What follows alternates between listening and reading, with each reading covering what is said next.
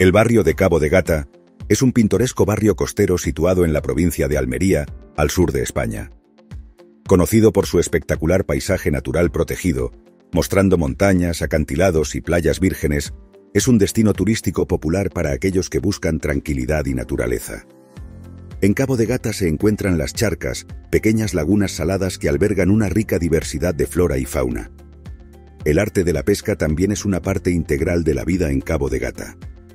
Los pescadores locales se dedican a sus labores diarias, utilizando técnicas tradicionales y capturando peces frescos que se sirven en los restaurantes cercanos.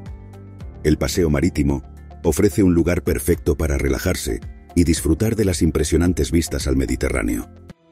Soy de Almería, canal de información digital.